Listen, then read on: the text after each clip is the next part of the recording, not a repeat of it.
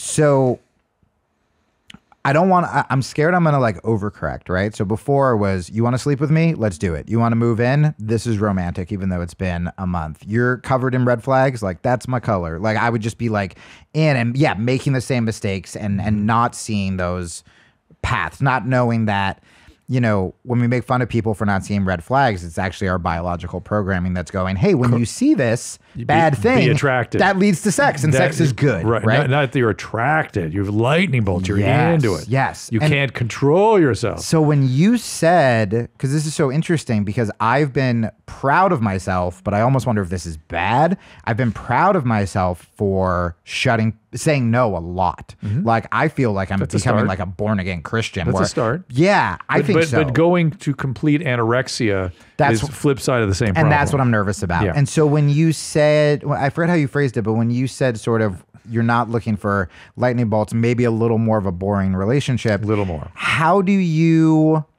What is that line? Because It's hard to. It's really hard. Yeah, because you're so used hard. to sparks, and you don't Yeah. want a boring relationship that's going to progressively get more boring, and then you're going to There- fuck there off of that. an intermediate area. There's Yeah. there is kind of an. It's hard to find because you're you're going all this way or all that way typically. Yeah. But if you can find something that's like, mm, there there's things I like about that person. There's things I've been looking for that this person, and I kind of I can imagine having sex with her. I'm, I'm kind of attracted. yeah, You might find that bears fruit. It might not. I And mean, you then might just- yeah. you might have to you know date and relate and sort of work your way through some of this stuff. because I'm either saying no to the dates entirely to work on myself, which I don't think is the worst thing, or when I see before we sleep together, when I see one thing that I'm like, that's going to be a thing, that I I just bail because I assume it's not well, the it- one. You you know you've already said you know feminine and kind is, is sort of a unfamiliar territory for Yeah. you, and you can go try that. There are a lot of kind people out there. I know. You don't notice them, but they're out there, Dude, I, I went to church for the first time in my life this month,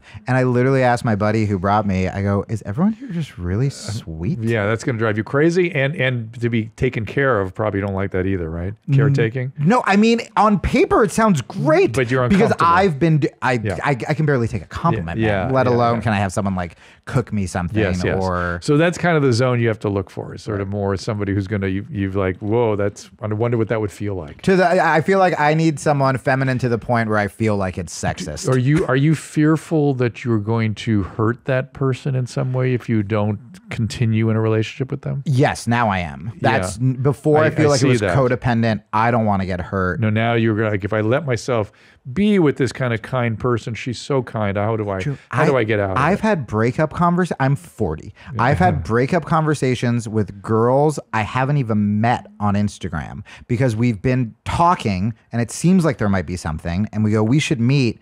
And then I would see something where I go, you know what? Either I'm not ready or you're more into it than I am. And I thought I was like being good by Yeah. not ghosting Yeah. or whatever. And then so I would say, you know, hey, I don't think this is gonna work. I don't want you to get, you know, hurt or whatever. Uh, and then they would get so upset that suddenly I'm just having the worst parts of a relationship without getting to have sex, and I So because I feel so But bad. it really is codependency. It really is because you're you're taking care of that person before you a even know them, Even know them. and b give them the respect to take care of themselves. Uh, they could they didn't ask you to take care And of them. all of my girlfriends have said that, where they've been like, dude, they're fucking grown-ups. If they say they just want to have sex with you, just have sex with them. If they say they want this, just do this. But I'm just too. And the thing about codependency too is you can talk yourself into, I'm just so nice. And it's not. I mean, it Codependency, remember, is a, and I'm a codependent. Yeah. It's kind of a narcissism. It it's is a kind of bit, right? It's a reverse narcissism, right? It's like I'm, I experience myself through other people, and I'm so worried about other people and their feelings, but really it's my own feelings that I'm protecting. right. I don't. I don't want to be upset hurting them, or I don't want but them it- to. Also, you don't want to activate your pain Yeah. by activating their pain.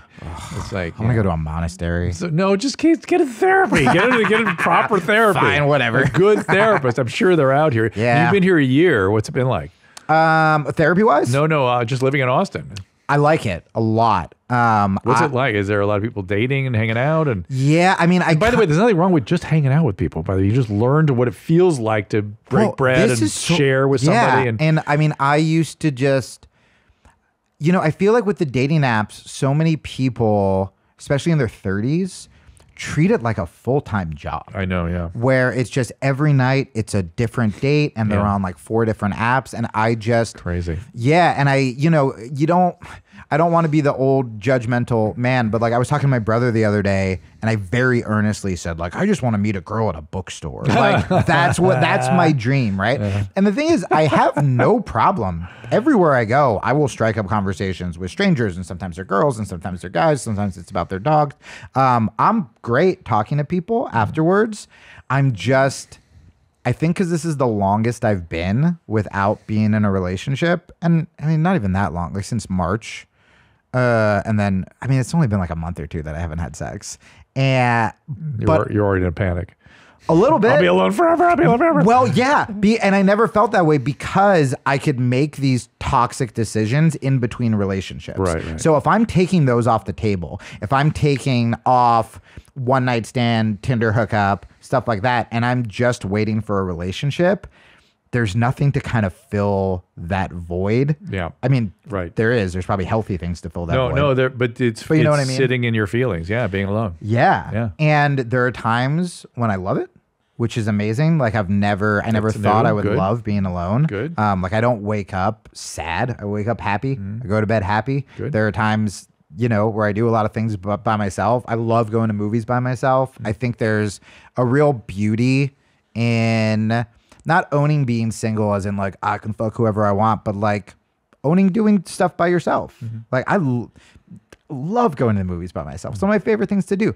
Um, but then there are times where I start to do the math and I go, God, I'm 40 and I want kids. Mm. And then what I don't want to do is, okay, I'm making healthy decisions with boundaries. I'm working on my codependency. I'm waiting for the right girl. I'm not just having sex to have sex. All this is great.